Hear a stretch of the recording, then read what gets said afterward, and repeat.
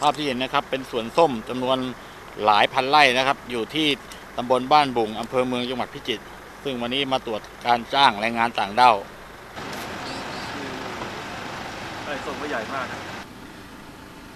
ขบวนของท่านรองผู้ว่าราชการจังหวัดพิจิตรนะครับที่จะมาจับแรงงานต่างด้าวหรือมาตรวจแรงงานต่างด้าวปรากฏว่าเจ้าของสวนส้มล็อกประตูเข้าไม่ได้ ตอนนี้นะครับทางเจ้าของสวนก็มาเปิดประตูให้แล้วครับ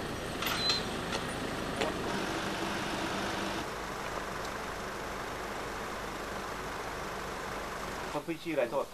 พงศักดิ์ครับพงศักดิ์นะสี่คนเองนะยำยำยำยำยำตรงนี้กี่ไร่ฮะทั้งหมดมีมีสี่คนตรงค่ะท่านมีท่านนี้ก็มาดูเท่านั้นเองว่าเขาอยู่กันยังไงแล้วก็ตรงกันไหมแล้วก็อยากให้มันเมื่อวานมาเป็นไงครับผมนะถ้าเป็นอะไรอยู่ที่หมดครับก็ไม่ได้ออกเลยนอกเลย ก็มีเพราะว่าพื้นที่มันต้องเป็นเฉพาะตรงนี้ใช่ไหมดู พูดคุยตลาดนั้นแล้วก็พาเขาไป เขาขาดเหลืออะไรเขาก็สั่งแล้วก็ซื้อเข้ามาให้อันนี้ต้องติดไปหมดแล้วครับนี่กี่ปีปีฮะสี่สิบห้าแล้วอ๋อได้ถึงสิบห้าอยู่เหรอครับเขาทำดากี่ปีธรรมดาเอาด้วยความรู้นะอยู่ได้อาชีพให้ลูกก็ขยับขยายขึ้นมาก็ซื้อซื้อทงซื้อที่ขึ้นมาก็แบ่งกันแบ่งลูกแบ่งหลานอืมอืมก็ขยับขยายกันเพมาราะทางนู้นมันหมดแล้ว เลิกหมดแล้วตอนตอนขึ้นมาทางนู้นยังไม่เป็นไรนะฮะอ๋อ ตอนขึ้นมาทางนู้นยังมีผลผลิตเก็บใช่อยู่แต่ว่าอาศัยว่าลูกหลายคนครับก็โตแล้วมีครอบครัวแล้วก็เริ่มอืม หาช่องทางให้ขยับขยายแต่ละคนมีอาชีพของตัวเองตรงนี้เดี๋ยวรอว่างๆอันนั้นบัตรใบว่าประมิดครับเบอร์คน ชื่อจริงๆอะซาวซินลินครับผมอันนี้สาวสิพูดไทยชัดเนาะเป็นช่างฮอกด้วยเนี่ย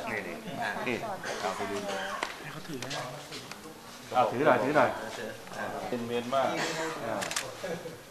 อยู่รัฐอะไรก็ได้ก็เลยรัฐยักษ์ไขว่ะไม่ใช่ไม่ใช่เออกะเหรียนครับกะเหรียนกะเหรี่ยงอะอ๋อไม่ใช่พม่าพญาบ้านเนี่ยบ้าครับแล้วนี่ใครนี่เมียเมียผม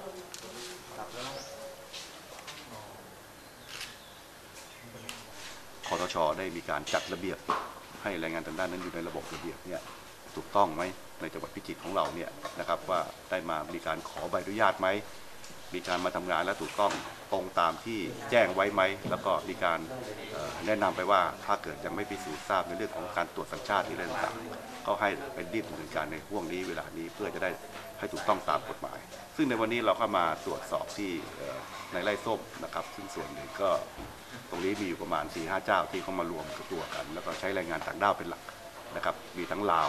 นะครับแล้วก็พม่านะครับจากเจ้านี้ที่อยู่ข้างหลังนี่ก็ประมาณ 35 คน 30 คนก็ได้ตรวจสุ่มตรวจตรวจอะไรก็ถูกต้องนะครับ